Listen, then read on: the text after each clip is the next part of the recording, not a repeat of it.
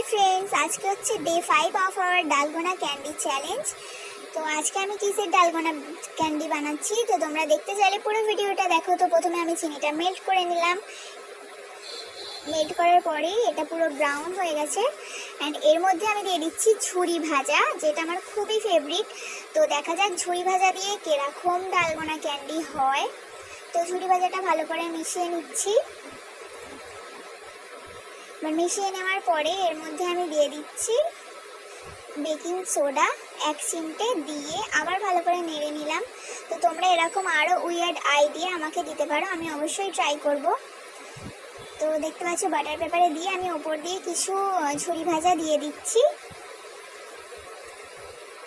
এবার এটা কিছুক্ষণ ঠান্ডা করে নেব। ঠান্ডা করে নেওয়ার পর দেখি এটা বাটার পেপার থেকে ওঠে কিনা।